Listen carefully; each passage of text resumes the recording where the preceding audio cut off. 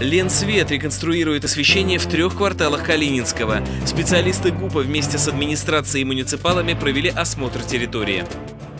Детская площадка между домами 114 и 114 дробь 6 по Гражданскому проспекту построена в 2015 году. Рядом ни одного светильника. В скором времени ситуация изменится. 49-й квартал попал в программу реконструкции наружного освещения Ленсвета. В будущем будет э, разработан Ленсветом проект по реконструкции наружного освещения данного квартала.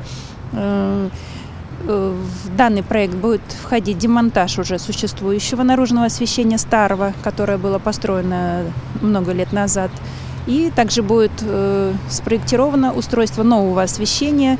Все фонари в 49-м квартале заменят на новые. Большинство светильников здесь были установлены еще в 70-х годах. Также за последние годы появились новые детские и спортивные площадки, пешеходные дорожки, парковки. Всем им требуется освещение. Таковы требования нормативов. При этом мощность светильников в разных местах будет отличаться. Изменились нормы освещенности.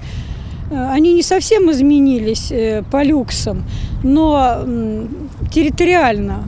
Например, э, если раньше не учитывались нормы на детских площадках, то теперь эти нормы освещенности на детской площадке, они должны быть ну, максимум в два-три раза больше, чем просто на проезде. Поэтому здесь должен быть другой светильник другой мощности, другие опоры, которым так сказать, не нужно подъезжать. На спортивных и детских площадках, а также тропинках установят складные фонари. Так их проще ремонтировать. Помимо 49-го квартала обследования прошли еще в двух – 47-м и 27-м гражданка. Все данные передали специалистам Ленсвета. Проект реконструкции наружного освещения разработают в этом году, но точные сроки его реализации пока неизвестны. Thank